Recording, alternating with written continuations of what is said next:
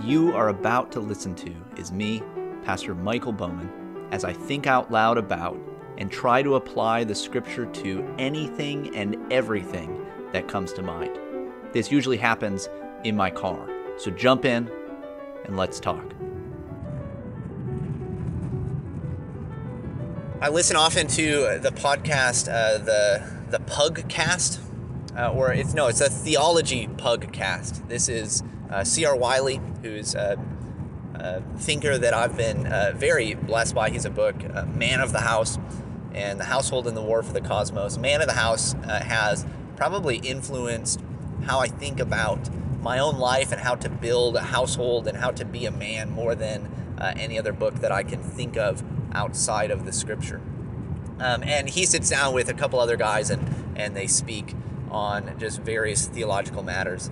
And they had a woman on not that long ago who was speaking about uh, J.R.R. Tolkien and was speaking about his writing as what uh, they were calling a fertile idea, that his thinking was fertile.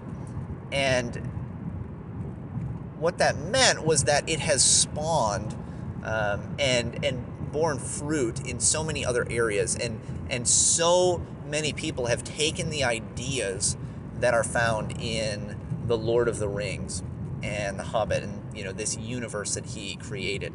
And it has it has grown and become much more. You think about all the other books that have been written about it. You think about all the all the other uh, things that happen. You think about how the University of Wisconsin Madison you know teaches a class on Elvish right so there there are universities that teach a language that Tolkien invented uh, for this world that he wrote about. And I just really liked this idea of fertile ideas. These fertile ideas that, you know, a, a fertile idea uh, being something that can uh, build and grow and and produce much more uh, that it it like a seed can be planted and then it just keeps growing. And I can think of you know the books and uh, you know material that has been the most beneficial to me in my life, and all of it is like this. It's something that I read and then it just grows in my own life, and I I you know have all kinds of different ways that I can uh, think about it and add to it and uh, live according to it. And obviously, even if as I say that, my guess is that most of you listening will think of something that you know you found the same way. And i think probably we all think of scripture this way. You think of the the fertile ideas of scripture because this is god speaking through his word and how it just grows it just keeps growing and and building. And here we are 2,000 years after the resurrection of Christ. And uh, we are still studying his word, and there's still uh, movement and growth that is coming from it. And that's not because we're changing how we see it. It's not because the word of God changes. It's because it is it is so uh, life giving and fertile. It, it is so uh, it, it's so productive that it continues to grow and and move in this way.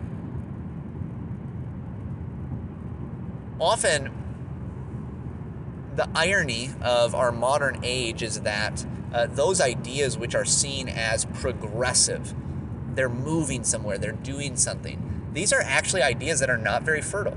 They don't they don't actually uh, carry someone more than a generation or two they can't go very far before they spin out of control.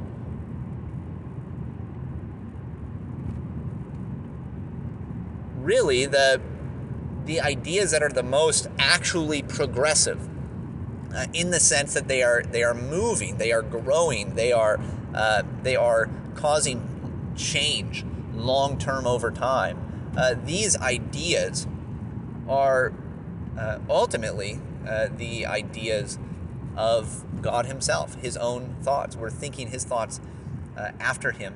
as we study these things and, and grow in our understanding of His world and who He is and who Christ is and what the church is. And, and as we continue to return to Scripture and stand upon Scripture, instead of seeking to move on our own, as we continue to go back to the Scripture and stand firmly upon it, what it does is over time it it allows us to develop. You think about the development of the creeds and confessions of the church over time. These are not documents that are uh, contra scripture. These are, you know, you think of the Westminster Confession of Faith. This is a document that is seeking and I believe very faithfully does uh, explain truths of Scripture. Um, this is something that was not uh, available in the first couple centuries of the church. It wasn't available till much later. It doesn't mean that those truths are new or that they were never there. It's just that over time, as uh, men continued to study the scripture and teach the scripture and preach the scripture and, and draw the church back to uh, standing upon the scripture, it was through that process that development actually took place.